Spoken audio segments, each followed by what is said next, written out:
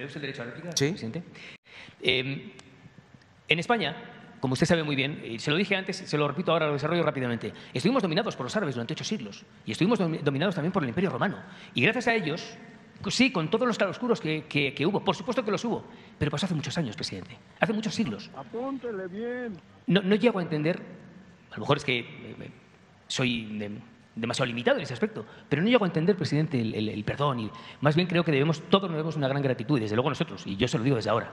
Lo otro que dice usted, efectivamente, pudo haber una serie de excesos, pero también le digo, presidente, que cada vez que sale el nombre de España o salen las empresas españolas, muchas pymes españolas que desearían venir a México se echan para atrás.